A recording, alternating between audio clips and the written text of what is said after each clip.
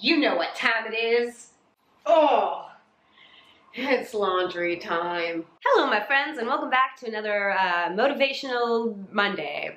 Fluff and chat, chat and chore. I'm gonna fold my laundry and tell you about that time I was in Playboy. Seems like a reasonable combo. So if you have any chores that you need to do and you've been putting off, like I clearly have been putting off, uh, pause this video and then uh, hop back in and let's do this thing together. If you're new to my channel, hi, hello. This is an interesting intro in, but I've started doing these sort of motivational cleaning videos, uh, sort of in the style of a podcast where I just chat as I fold and hopefully uh, I'm keeping you company while you're doing something similar or you're just sitting and enjoying. And I'm so jealous. Today I thought it would be fun to talk about that time I was in Playboy, which if you're new here or you haven't been around forever, might be a surprise to you, especially considering what's happening right now. But it is true. The year was, oh God, it was a while ago. It had to have been at least six years ago. I'll have to like check on the exact date of that um, and someone out there can verify that for me. But it was definitely a while ago. No, it might have been closer to like eight years ago. Oh God, time is, time is a bitch. Anyways, um, I had just broken up with a long-term boyfriend and I was obviously doing YouTube as I've been doing for what seems like forever. Um, and I went on this trip with my mom, which ironically is the trip that I just got back uh, from. If you watched last week, I kind of talked about it. Anyways, it's kind of like this spiritual retreat. My mom is in that space and she gets free trips and um, she teaches classes. And so I continued to go with her on these trips. I also took a solo trip uh, there once and I made a whole video about that if you're interested um, in solo tripping. It was really quite an amazing experience. Anyways, this is why I thought about the story and about sharing this with you because uh, I was there this past weekend and I remember the time I went there after a breakup and you know it's kind of a good opportunity to sort of heal and uh, turn off the phone and be in nature and meditate. And so I was like coming back from like a meditation or something something super woo woo and I checked my email and I had gotten an email from someone at Playboy and I was like this can't this this is not a real thing. But as it turns out, it really was a real thing. Basically, they were doing a series. This was for their like online um, blog or like their uh, Playboy Online, I guess, um, where they were doing like 15, 10, I don't remember how many of there there were of us, um, but like highlighting YouTubers and so it was like a really fun mixed bag of people. Uh, some I knew, like Nikki Limo, and some I didn't know. But it was basically they were doing like spreads with all of us and little articles about us, and they even were doing like a little video element, probably trying to like promote their social media at the time. So they were using us to do that. Um, and so I read through the email and like my jaw literally dropped because it's just so absurd that I would even be considered for this for so many reasons, but mostly because like I'm not even in like the modeling space. I'm 5'1", like what do you want from me? Um, so anyways, uh, as it turns out, I got more information and they weren't doing like a nude situation. It was basically like you'll be in bathing suits or underwear, lingerie. Um, and so, you know, come on down, let's do this thing. So I quickly was like, turned to my mom and told her what was going on. And she was like, you have to do it. And I was like, I have to do this, right? Like, what an experience. What a thing to tell people. Also, I was like newly single, so I was just like, yes, this is my like way to like empower myself and like invigorate myself. Uh, not to mention, I mean, when you're getting back in the dating game, ain't nothing like telling someone you were in Playboy. Anyways, so um, I was like a little bit nervous about what people would think, which is like, come on, we're all nervous about what people think just generally speaking and I'm trying to work on not caring so much. But back then I cared, especially like my dad and stuff. I was like, oh God, what would they think? Even though I knew it was going to be quote unquote tasteful, I do still think there was like a little bit of stigma around it. It's like, you know, the stigma that comes possibly with doing any sort of like adult content stuff. Um, so, you know, I had the conversation with my dad and he was like super supportive. And I was always just like, it's not nude. It's not nude. Not to say like doing nude is bad. In fact, you know, like, don't think uh, in during tough times, I haven't thought about uh, what it would feel like to do an OnlyFans. I think ultimately for me, that's not the path that um, I meant to go on, but I totally understand. A lot of like influencers have actually made that shift um, and have extended their online careers and like respect. Anyways, so I finally decided, okay, I'm gonna do this. Talk to my management, like the whole thing great, we're gonna do this. This is kind of like a once in a lifetime opportunity. Plus, my whole thing was like, you know what? When I'm 90 years old, or now almost 40 years old, I can look back and be like, hey, remember when my boobies weren't down to my toes? Um, so, you know, all signs were kind of pointing to like, yeah, girl, just do this and enjoy the experience. So, cut to I'm starting to have conversations with them about like how this content is going to look. Like basically we all kind of themed ours around what was like kind of going on in our life. And at the time I was working on my show Party Girl. So I wanted to theme it kind of around princess parties and sort of like that kind of theme. And it was all going to be shot in my house which uh, I think made me ultimately a little bit more comfortable. And then I learned that it was going to be an all female staff. So um, the wardrobe department was female, the makeup was female, and the photographer was. And that like brought me so much comfort because I mean, I don't know if you guys have ever done any sort of photo shoot, even just like at our wedding doing photos. Like there's so much pressure around it and it's like such an uncomfortable thing um, unless you're like a pro, I don't know. I'm always like uncomfortable, even at like headshots. Like it takes me a long time to get comfortable. So I was pretty nervous. Um, but finding out that I was gonna be able to shoot it here and I was going to have all women around me was like a lot of comfort.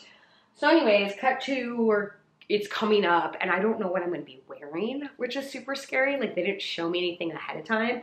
And like, let's be honest, I was about to like bare a lot of my body. And this was like before I was doing bathing suit videos. Like now I'm a lot more comfortable.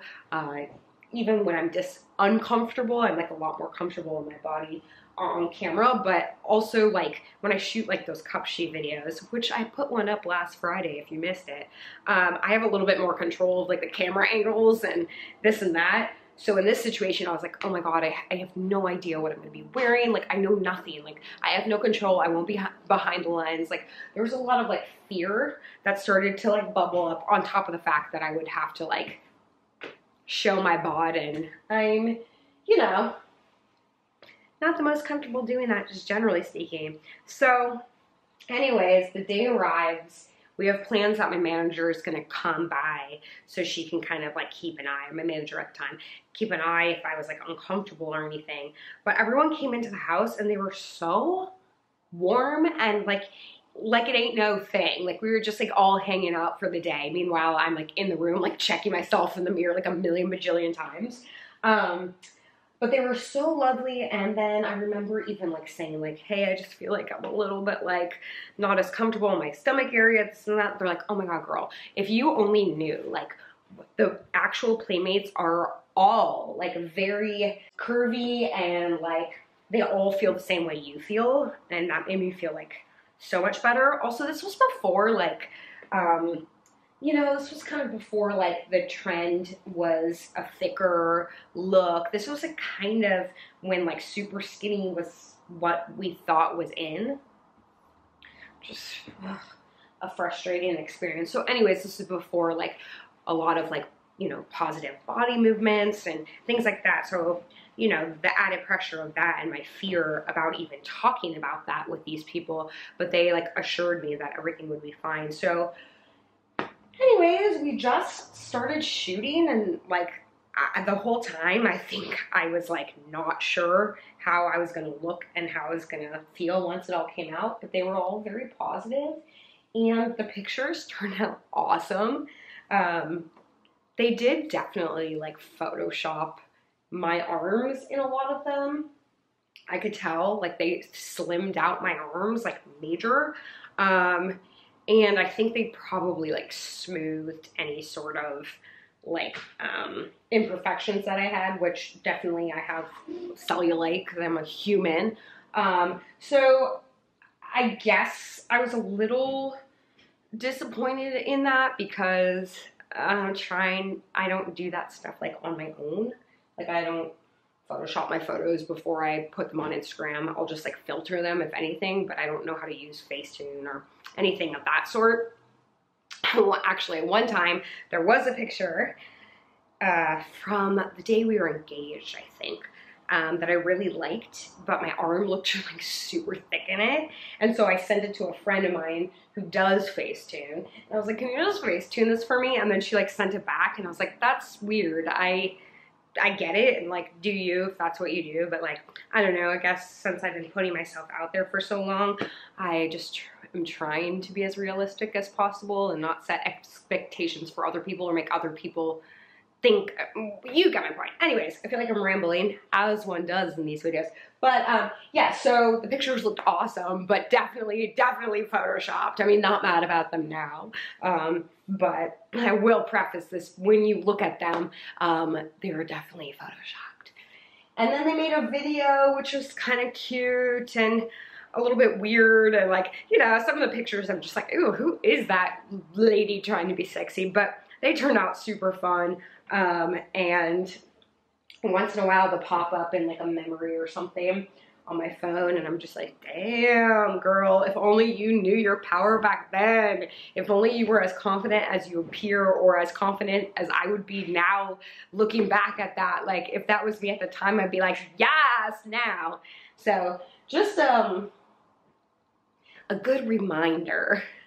I don't know if you guys ever feel like this, but like I, a lot of my friends have this similar um, thought. It's like, oh, we we look back at pictures of us in our 20s or even like five years ago, and we thought like we thought we were so chunky or we thought we looked so ugly or whatever, like whatever mean things you say to yourself because we all do it, unfortunately. Um, but we're like now we're like, but now looking back, oh my God, we looked so good. Like had we only appreciated it. Uh, there's a lot of that going on. So I'm trying to remind myself as I look back at those old pictures and have those thoughts to try to feel that now. It's hard though. Y'all, I went on this trip, like I told you, and um, I've been going there for years with my mom, so I was kind of like tripping out because I've had so many experiences, obviously, like that breakup and then getting to do Playboy. And then I remember like going on that trip by myself. And then I remember going on a trip at one point when Jeff and I were just starting to talk, like so many different chapters of my life spent in that place. And so it was interesting this time around. I have like definitely had the realization of like, oh my God, I am not young anymore. Like I'm not the young one here anymore because there's a lot of mother daughters that go there. And I saw this one like set of mother and daughters who um, the daughter was like, think I found out she was like 21 or something. She was like so radiant and like youthful and like she really just kind of was shining and like she was very noticeable because she, she just had that like youthful like energy around her. And I had this moment of like, oh my God, that was me here at one point. Now that's not me. And oh my God, I'm getting old. And I like took a picture and I like saw some lines on my face and I was just kind of like going down this rabbit hole. Um, so I'm now reflecting on that feeling and being like, you know what? No, I'm proud of who I am now and I'm trying to own what I am now, even though you have bad days, hard days, days where you look in the mirror and you're like, oh my God, who is that? Um, I'm trying to think back to the fact that I felt that kind of feeling when I was doing the shoot and now I look at it and I'm like, damn girl. So I'm hoping that like in 10 years, I'm gonna look back at myself now and be like, damn girl. And so I hope in this moment, I can take a little bit more of that damn girl and enjoy myself in the moment. Did any of that freaking make sense? I feel like that was just like a little bit of motivation to love ourselves in the moment. And also to remind ourselves of all the crazy stuff we've done in the past. I mean, legit, sometimes I forget that I was in Playboy. Not technically, it was Playboy Online, but you know, all the pictures were stamped with the Playboy bunny on it, the official logo. So I'm gonna take that. I remember there was a few people that didn't get asked to do it, which, you know, I don't, who knows how they selected it. I don't think it was any sort of insult for those that weren't asked to do it. It was probably just more about like whoever was seeking out talent only knew about so many people. So anyways, but I knew a few people were like, it wasn't even the real Playboy and they didn't even do the full spread. So, you know, there's always gonna be a hater out there. But the lesson of today is don't let that hater be yourself. You should be your biggest cheerleader. Easier said than done, but I'm working on it, y'all. I am working on it. Anyhow, that's sort of that story. There wasn't like so much to it other than like then I started dating and doing like online dating and uh you know, people would like Google you and they would see that. And let me just say, my dating life was off the hook at that point in my life. Uh, I didn't use any of those pictures in my profile, I don't think. That would have been pretty bold of me. I definitely did not. Um, but when that news came out, that was kind of fun. It was always a fun thing to drop on a first date. Memories, you know? And now look at me. I'm a married old lady folding laundry on the internet wow. Oh, you know what? Ironically, there's a like a big portion of the shoot was like on this bed. So wow, how things have changed. And you know what? I don't regret any of them. I feel like they're all part of the stepping stones in my life. And so, um, yeah, here you go. My latest photo shoot. Yeah. I hope this fun. Um, if you guys want to know more about like certain specific things, someone keeps asking me about, um, talk about like past jobs that I've had.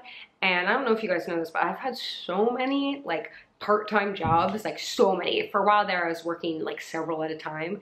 Um, and I definitely like would love to share those with you. Or if there's just anything else that you've seen uh, in my time that you were curious about or want to hear more about, um, I'd love to share it with you guys. So there you go. I guess I didn't have that much to fold today. I'm trying to stay a little bit more on top of it and not let the pile get so high.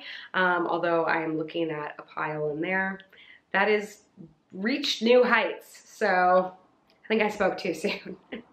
but I guess we'll just continue to do these. And if you want to see more, make sure you give this video a thumbs up and stick around. We've got a week full of um, videos who knows what they're gonna be. I started planning some things out today and I'm just excited about where this is all going. So thanks for being a part of this community and um, I hope this motivated you in some sort of a positive way today. So um, yeah, that's it. All right, you guys.